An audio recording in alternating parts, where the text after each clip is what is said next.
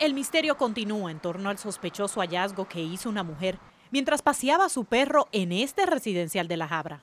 El 21 de julio, aproximadamente a las 4 y media de la mañana, uh, un residente de La Habra llamó a la policía de La Habra y reportó que había encontrado un cuerpo. Ya en la tarde eh, mi vecino me dijo de que era una señora y la verdad pues que me da pena, ¿no? El cuerpo fue localizado entre arbustos detrás de un estacionamiento. A primera instancia, las autoridades no pudieron reconocer las causas por las cuales Emma Posada, de 58 años, perdió la vida.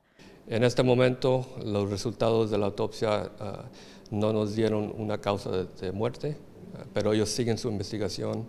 Según las autoridades, los familiares de la víctima, quien es residente de Lompoc en el condado de Santa Bárbara, ya estaban tramitando un reporte por su desaparición.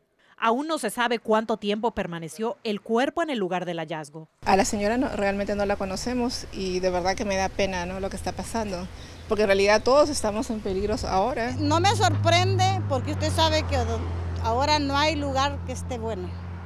En todos los lugares um, hay mucha maldad.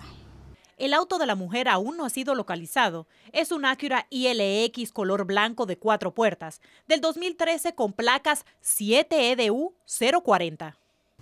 Como parte de su investigación, las autoridades aún no determinan si la víctima falleció aquí o si simplemente su cuerpo fue desechado en esta área. Esa es toda la información que les tengo desde La Habra.